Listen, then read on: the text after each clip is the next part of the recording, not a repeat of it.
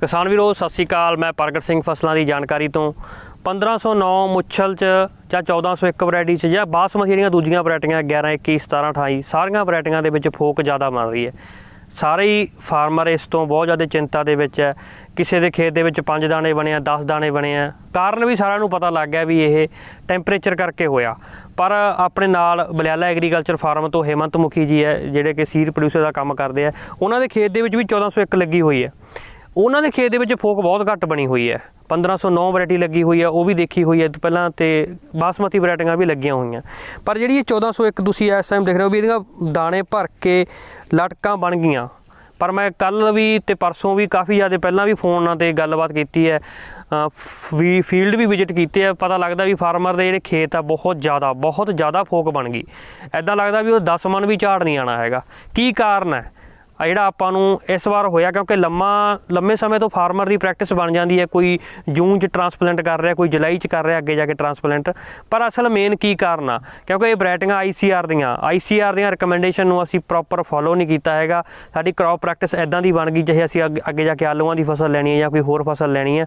ਤਾਂ ਅਸੀਂ ਇਸ ਫਸਲ ਦੇ ਵਿੱਚ ਜਿਹੜਾ ਘਾਟੇ ਦਾ ਕਾਰਨ ਉਹ ਆਪਾਂ ਨੂੰ ਇਸ ਵਾਰ ਸਹਿਣ ਕਰਨਾ ਪਿਆ। ਤੇ ਆਪਾਂ ਹੇਮੰਤ ਮੁਖੀ ਜੀ ਨਾਲ ਗੱਲ ਕਰਦੇ ਹਾਂ। ਸਤਿ ਸ਼੍ਰੀ ਅਕਾਲ ਜੀ। ਸਤਿ ਸ੍ਰੀ ਅਕਾਲ ਜੀ। ਵੀਰ ਜੀ ਤੁਸੀਂ 1401 ਦੇ ਵਿੱਚ ਤੁਹਾਡੇ ਮੈਂ ਦੇਖ ਰਿਹਾ ਕਿ ਬਹੁਤ ਘੱਟ ਫੋਕ ਆ। ਦੋ ਤਿੰਨ ਦਾਣੇ ਨਾਰਮਲ ਦਿਖਦੇ ਆ ਪਰ ਬਹੁਤ ਫਾਰਮਰਾਂ ਦੇ ਦੋ ਤਿੰਨ ਦਾਣੇ ਹੀ ਬਰਾਊਨ ਹੋਏ ਆ ਬਾਕੀ ਸਾਰੇ ਖਾਲੀ ਪਏ ਆ। ਕੀ ਰੀਜਨ ਮੇਨ ਮੰਨਦੇ ਹੋ ਜੀ? ਤਾਂ ਮੈਂ ਇਹਨੂੰ ਜ਼ਿਆਦਾ ਅਰਲੀ ਨਹੀਂ ਲਾਇਆ। ਹਾਂ। ਵੈਰਾਈਟੀ ਨੂੰ। ਕਿੰਨੀ ਡੇਟ ਦਾ ਟਰਾਂਸਪਲਾਂਟਡ ਆਈ? ਇਹ 16 17 ਜੂਨ ਦੀ ਲੱਗੀ ਹੋਈ ਹੈ। ਹਾਂ ਇੱਕ। 1401 ਮਹੀਨਾ ਪਹਿਲੇ ਪਨੀਰੀ ਲੱਗੀ ਸੀ। ਹਾਂਜੀ।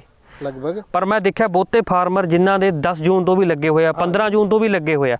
ਮੁਕਸਰ ਏਰੀਆ ਕੇ 15 ਜੂਨ ਦੇ ਵਿੱਚ ਲਾਇਆ ਉਹਨਾਂ ਹੀ ਫੋਕ ਜਾ ਪੰਜਾਬ ਦਾ ਮੁਕਸਰ ਏਰੀਆ ਡੱਬੋ ਵਾਲੀ ਜਾਂ ਫਾਜ਼ਿਲਕਾ ਏਰੀਆ ਬਠਿੰਡਾ ਏਰੀਆ ਵੀ ਕਾਫੀ ਜ਼ਿਆਦਾ ਇਫੈਕਟਡ ਹੋਇਆ ਜੀ। ਬਹੁਤ ਘੱਟ ਲੱਗਦਾ ਵੀ ਉਹਦੇ ਵਿੱਚ ਜਿਹੜੇ ਦਾਣੇ ਆ ਉਹਨਾਂ ਦੇ ਵਿੱਚ ਮਿਲਕ ਜਾ ਕੇ ਅੱਗੇ ਜਾ ਕੇ ਦਾਣੇ ਹਾਰਡ ਹੋਏ ਆ। ਖਾਲੀ ਆ ਸਾਰੇ ਹੀ। ਕੀ ਕਾਰਨ ਮੰਨਦੇ ਹੋ ਜੀ? 1401 ਦਾ ਟਾਈਮਿੰਗ ਤਾਂ 15 ਜੂਨ ਤੋਂ ਬਾਅਦ ਸ਼ੁਰੂ ਹੁੰਦੀ ਹੈ। ਹਾਂ। ਤੇ ਜਿਹੜੇ ਉਧਰ ਦੇ ਫਾਰਮਰ ਹੈਗੇ ਨੇ ਮੁਕਸਰ ਸਾਹਿਬ ਦੇ ਲਾ ਲਓ ਜਾਂ ਕਿੱਧਰ ਹੋਰ ਉਹਨਾਂ ਨੇ ਇਸ ਟਾਈਮ 'ਚ ਕਈਆਂ ਨੇ PB1 ਲਾਤੀ। ਉਹ। ਇਸ ਤੋਂ ਵੀ 15 ਦਿਨ ਲੇਟ ਦੀ ਵੈਰਾਈਟੀ ਹੈ। ਅੱਛਾ ਜੀ। ਉਹ 1 ਜੁਲਾਈ ਤੋਂ ਪਹਿਲੇ ਲਾਣੀ ਨਹੀਂ ਚਾਹੀਦੀ ਖੇਤ 'ਚ ਠੀਕ ਹੈ ਜੀ। ਉਹ ਉਹਨਾਂ ਨੇ 15 ਜੂਨ ਤੋਂ ਸ਼ੁਰੂ ਕਰਤੀ।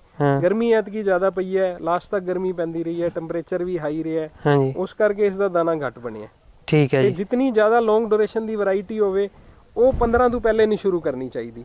ਉਸ ਤੋਂ ਜਿਵੇਂ ਜਿਵੇਂ ਦਿਨ ਘਟਦੇ ਜਾਣਗੇ ਸ਼ਾਰਟ ਵੈਰਾਈਟੀ ਹੁੰਦੀ ਜਾਵੇਗੀ ਉਹ ਫਿਰ ਆਪਦੀ ਜੂਨ ਲਾਸਟ ਹੀ ਚਲਾਓ ਫਿਰ ਜੁਲਾਈ 5 ਨੂੰ ਲਾਓ 11 21 ਹੈ ਹੁਣ ਲੋਕ ਜੂਨ ਹੀ ਚਲਾ ਦਿੰਦੇ ਨੇ ਹਾਂ। 25 ਜੂਨ ਨੂੰ ਲਾਤੀ। ਉਹ ਗਿਰੇਗੀ ਵੀ ਸਹੀ ਤੇ ਥੋਤ ਵੀ ਜ਼ਿਆਦਾ ਬਣੇਗੀ। ਅੱਛਾ। ਤੇ 5 ਜੁਲਾਈ ਤੋਂ ਪਹਿਲੇ 11 21 ਵੀ ਨਹੀਂ ਲਾਣੀ 1509 ਬਹੁਤ ਘੱਟ ਸਮੇਂ ਦੀ ਵੈਰਾਈਟੀ ਹੈ ਉਹਨੂੰ ਕਦੋਂ ਲਾਣਾ ਚਾਹੀਦਾ ਜੀ? 1509 10 ਜੁਲਾਈ ਤੋਂ ਪਹਿਲੇ ਮਤਲਬ ਹੀ ਨਹੀਂ ਲਾਣਾ ਚਾਹੀਦਾ। ਅੱਛਾ। ਪਰ ਜਿਹੜੇ ਫਾਰਮਰ ਆਲੂ ਦੀ ਖੇਤੀ ਕਰਨੀ ਹੈ ਜਾਂ ਉਹਨਾਂ ਨੂੰ ਛੇਤੀ ਚਾਹੀਦਾ ਵੀ ਆਪਾਂ ਕਈ ਵਾਰੀ ਝਾੜ ਇਹਨਾਂ ਦਾ ਅਗੇਤਾ ਵਧੀਆ ਹੁੰਦਾ ਜੀ। ਉਹ ਤਾਂ ਫਿਰ ਦੇਖੋ ਹਰ ਵਾਰ ਤਾਂ ਨਹੀਂ ਹੁੰਦਾ ਪਰ ਝਾੜ ਤੇ ਰੇਟ ਕਈ ਵਾਰੀ ਅਗੇਤਾ ਵਧੀਆ ਹੋ ਉਹਨਾਂ ਜਾਂਦਾ। ਦੀ ਵੀ ਮਜਬੂਰੀ ਹੈ ਕਿ ਅਗੇਤਾ ਲਾਣਾ ਪਵੇਗਾ ਉਹਨਾਂ ਨੂੰ ਕਿਉਂਕਿ ਫਿਰ ਉਹ ਲੇਟ ਲਾਉਂਦੇ ਨੇ ਫਿਰ ਆਲੂ ਨਹੀਂ ਲੈ ਸਕਦੇ ਅਰਲੀ 'ਚ। ਹਾਂਜੀ। ਉਹ ਤਾਂ ਇੱਕ ਮਤਲਬ ਮਜਬੂਰੀ ਵਾਲੀ ਗੱਲ ਹੋ ਗਈ ਕਿ ਉਹਨਾਂ ਨੂੰ। ਜਿਹੜਾ ਸਿੰਗਲ ਫਸਲ ਲੈ ਰਿਹਾ ਸਿਰਫ 1509 ਦੀ ਲੈ ਰਿਹਾ 10 ਜੁਲਾਈ ਤੋਂ ਪਹਿਲੇ ਲਾਉਣ ਦਾ ਕੋਈ ਫਾਇਦਾ ਨਹੀਂ।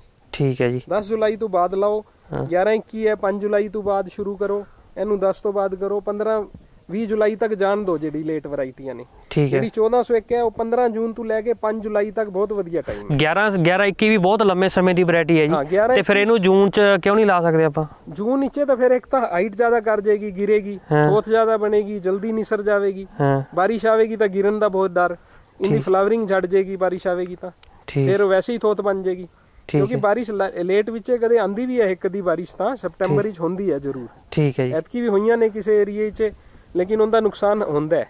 ਲਾਸਟ ਈਅਰ ਹਮਾ ਆਪਣੇ ਏਰੀਏ ਵਿੱਚ ਵੀ ਹੁੰਦੀ ਰਹੀ ਹੈ ਬਾਰਿਸ਼। ਦੋ ਤਿੰਨ ਦਿਨ ਲਗਾਤਾਰ ਪਿਛਲੇ ਸਾਲ ਤੇ ਕਾਫੀ ਗਰਦਨ ਤੋੜ ਵੀ ਆਈਆਂ ਨੇ ਤੇ ਫਿਰ ਫਲਾਵਰਿੰਗ ਵੀ ਝੜੀ ਹੈ ਉਸ ਦੀ ਤੇ ਉਸ ਵਜ੍ਹਾ ਨਾਲ ਝਾੜ ਵੀ ਪਿਛਲੇ ਸਾਲ ਕਾਫੀ ਘਟਿਆ।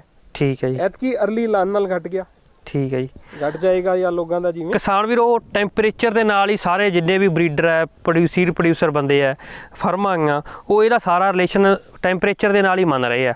ਪਰ ਕਿਸੇ ਵੀ ਲਿਟਰੇਚਰ ਦੇ ਵਿੱਚ ਜ਼ਿਆਦਾ ਵੱਡਾ ਲਿਟਰੇਚਰ ਇਹਦੇ ਬਾਰੇ ਹਜੇ ਤੱਕ ਨਹੀਂ ਛਪਿਆ, ਕਿਉਂਕਿ ਵੱਡੇ ਏਰੀਏ ਦੇ ਵਿੱਚ ਤੇ ਹਰ ਸਾਲ ਜਿਹੜੀ ਇਹ ਪ੍ਰੋਬਲਮ ਰਿਪੀਟ ਨਹੀਂ ਹੋਈ ਹੈਗੀ। ਲੰਮੇ ਲੰਮੇ ਕਿਤੇ ਸਮੇਂ ਬਾਅਦ ਇਹ ਚੀਜ਼ ਰਿਪੀਟ ਤੇ ਆਈ ਹੈ। ਪਰ ਜਿਹੜੇ ਕਿਸਾਨ ਭਰਾ ਡੀਲਰਾਂ ਦੇ ਚ ਝਮੇਲੇ ਚ ਆ ਜਾਂਦੇ ਆ ਵੀ ਆਪਾਂ ਇਹਨੂੰ 13045 ਨਾਲ ਹੱਲ ਕਰ ਲਗੇ ਜਾਂ ਕੋਈ ਹੋਰ ਫੰਗੀਸਾਈਡ ਸਪਰੇਅ ਕਰ ਦਈਏ, ਕਿਸੇ ਫੰਗਸ ਦੀ ਪ੍ਰੋਬਲਮ ਨਾ ਹੋਵੇ, ਇਹਦਾ ਇਸ ਤਰ੍ਹਾਂ ਸੋਲੂਸ਼ਨ ਨਹੀਂ ਕੀਤਾ ਜਾ ਸਕਦਾ ਜੀ। ਕਿਉਂਕਿ ਕੁਦਰਤ ਦੇ ਨਾਲ ਫਸਲ ਦੀ ਕੰਪੈਟੀਬਿਲਿਟੀ ਸਹੀ ਨਹੀਂ ਹੋਈ ਹੈਗੀ, ਤਾਂ ਦਾਣਾ ਨਹੀਂ ਭਰਿਆ ਹੈਗਾ।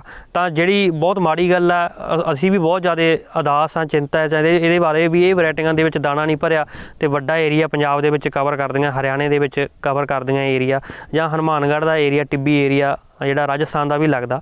ਪਰ ਕਿਸਾਨਾਂ ਨੂੰ ਇਹੀ ਰਿਕੁਐਸਟ ਹੈ ਕਿ ਵੈਰਾਈਟੀ ਦੇ ਸਮੇਂ ਨਾਲ ਨਾ ਧੱਕਾ ਕਰੋ, ਕਿਉਂਕਿ ਇਹ ਵੈਰਾਈਟੀਆਂ ਜਿਹੜੀਆਂ ਹੈਗੀਆਂ ਠੰਡ ਦੇ ਵਿੱਚ ਪਕਾ ਲੈਂਦੀਆਂ।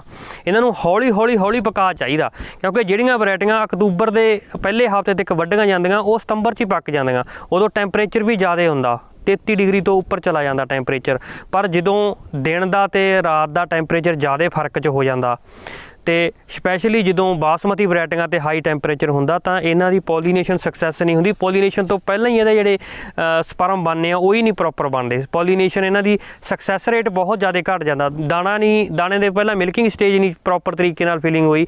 ਤਾਂ ਇਹਦੇ ਵਿੱਚ ਜਿਹੜੀ ਅੱਗੇ ਜਾਣੇ ਗ੍ਰੇਨ ਫਿਲਿੰਗ ਹੋਣੀ ਆ, ਤਾਂ ਉਹਦਾ ਟਾਈਮ ਜਿਹੜਾ ਉਹ ਕਿੱਥੋਂ ਹੋਏਗਾ? ਕਿਉਂਕਿ ਗ੍ਰੇਨ ਫਿਲਿੰਗ ਸਟਾਰਟ ਹੀ ਨਹੀਂ ਹੋਈ ਸਟੇਜ ਤਾਂ ਸੋ ਸਾਰੇ ਕਿਸਾਨ ਭਰਾਵਾਂ ਨੂੰ ਰਿਕੁਐਸਟ ਹੈ ਵੀਡੀਓ ਨੂੰ ਵੱਧ ਤੋਂ ਵੱਧ ਸ਼ੇਅਰ ਕਰਿਓ ਕਿ ਇਹ ਜਾਣਕਾਰੀ ਜਿਹੜੀ ਕਿਸਾਨ ਭਰਾਵਾਂ ਤੱਕ ਪਹੁੰਚ ਜਾਵੇ। ਓਕੇ ਜੀ ਬਹੁਤ ਬਹੁਤ ਧੰਨਵਾਦ ਜੀ।